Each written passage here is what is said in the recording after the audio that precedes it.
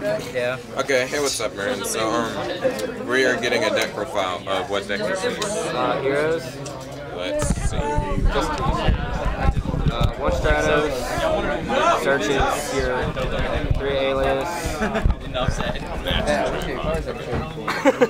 or your uh, two bubble man. Your cards, trading because- cards. Yeah, bubble man and stuff.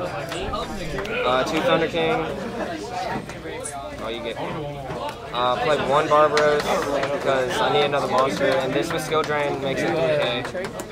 Uh, spells, three duality, get.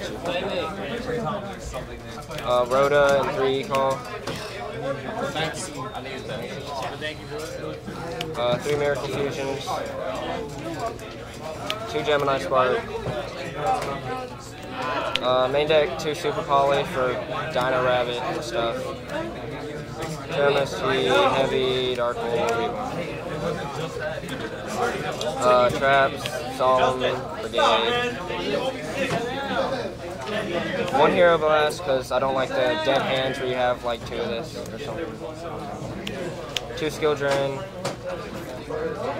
Two Bribe. One Starlight. Two Torrential. And a Mirror Force. Um, three Shining.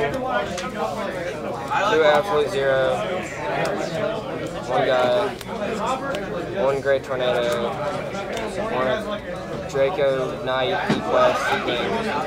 One Chimera Tag. Two Blade Armor. One Utopia. One Utopia Ray. And a Stardust. Alright, so, um, a few quick questions about this deck. Um, why, what, why did you opt to only play like two copies of Gem Spark instead of three? Um, because it's dead a lot for me when I have three and only three Geminis. If I added a Crusader, I might add a third one, but I just don't like the dead hands where you can open like no monsters and two Gem Sparks. So, um, what what do you prefer about Bubble Blade? That, like, why, why do you like Bubble Blade over, say, skill, regular skill drain heroes? Because Blade Armor can hit for a lot of damage, and um, then you have a target for Absolute Zero, which is like really good against Legends and stuff. Alright, well, thanks for the deck profile, you guys. Remember to check his channel out, yugiohrox97. You guys already knew that. Alright, well, I'll see you later then. Thanks.